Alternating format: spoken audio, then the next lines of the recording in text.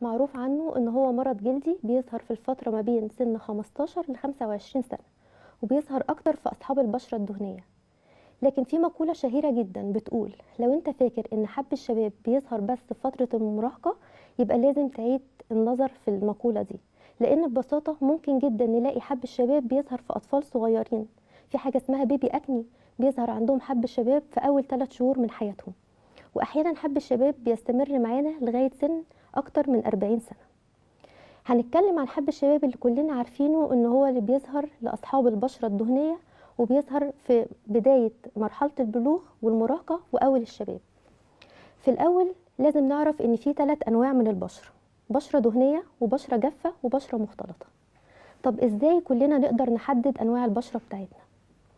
المريض أو العيان بيجي يشتكي من حاجة معينة في البشرة والدكتور بيشوف حاجة. يعني مثلا أصحاب البشرة الجافة.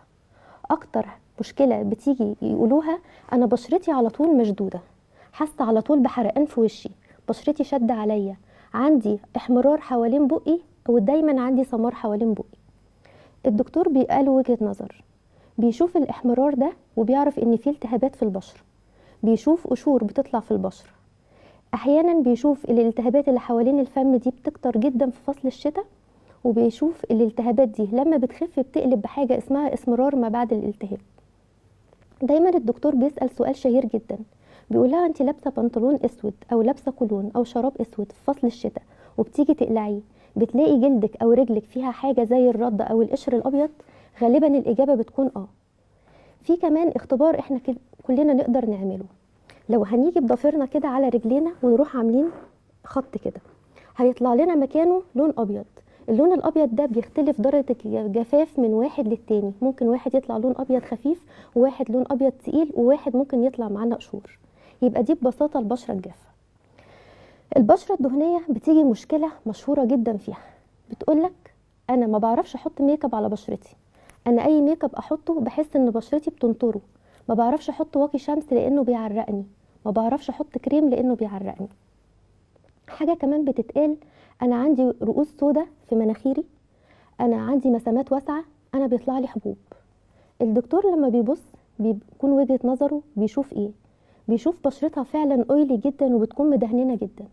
بيشوف الرؤوس السوداء دي فعلا على المناخير وفي الجزء بتاع الدقن وبيشوف المسامات الواسعة اللي هي بتزيد مع السن. طبعا بيشوف البثور بأنواعها. البشرة المختلطة اللي هي mix ما بين الاتنين ما بين البشرة الجافة وما بين البشرة الدهنية. الجزء اللي هو ال T zone أو حرف ال T ده اللي هو القوره والمناخير بتكون دهنية جدا وبقية البشرة بتكون جافة.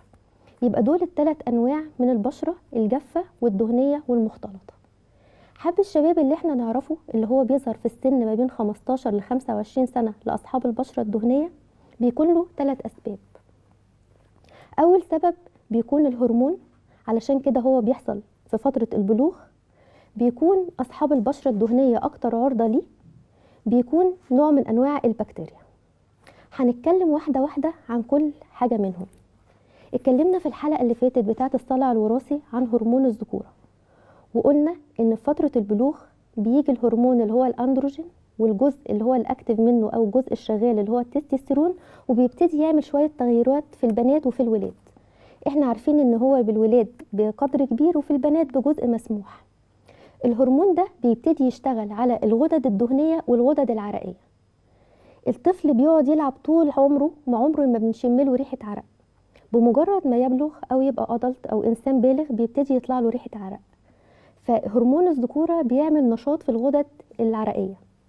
برضه بيعمل نشاط في الغدد الدهنية. فبيزيد الإنتاج بتاع الدهون. فالبشرة الدهنية بتكون دهنية أكتر.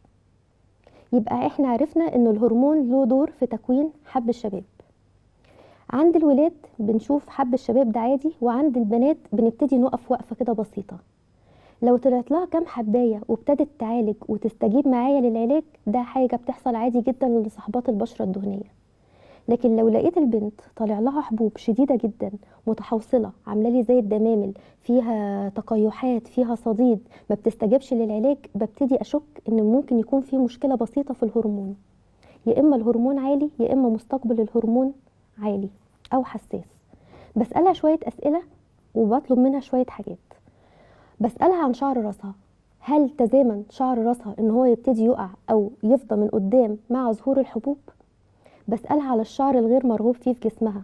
هل ابتدى يطلع لك شعر في أماكن ذكورية؟ مثلا زي الدقن زي الشنب زي صدرها زي بقية جسمها بكثافة؟ بسألها عن حبوب الشباب وبربط التلاتة مع بعض. ببتدي أطلب منها عشان أطمن برضو بعض التحاليل الهرمونية وببتدي أطلب منها سونار على الحوض.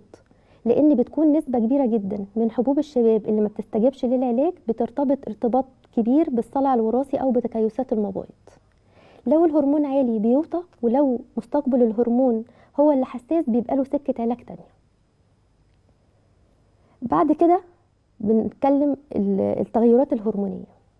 في تغيرات هرمونية شهرية بتحصل لكل بنت بيتزامن معاها حدوث بعض الحبوب برضو في وشها. هي بتبقى فاهمة إن دي أربع خمس أيام والحبوب بتخف وغالبا ما بتسيبش أثر إلا إذا لعبت فيها وهنتكلم عنها دي بتحصل ليه.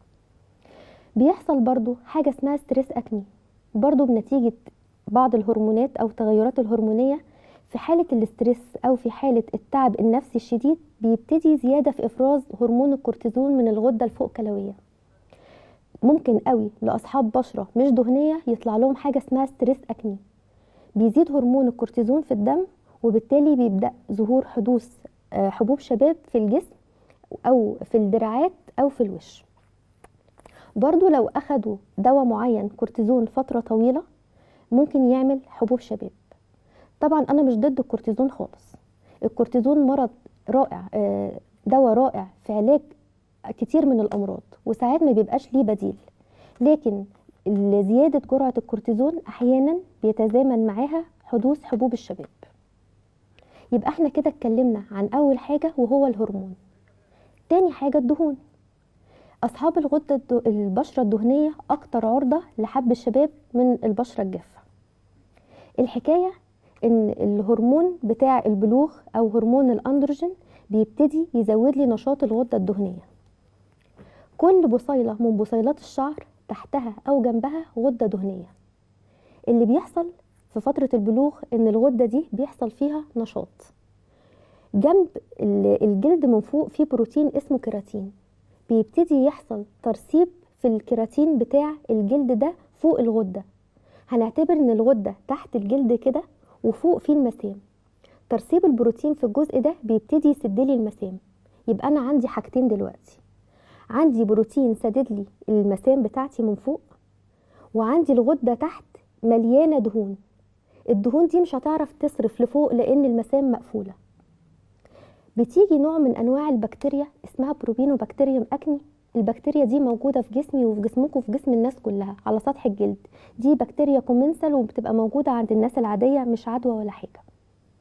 نتيجة نشاط الغدد الدهنية بالمنظر اللي إحنا قلنا عليه بتبتدي البكتيريا دي تعمل حاجة اسمها colonization أو تتكاثر فوق الحبوب دي أو فوق الدهون.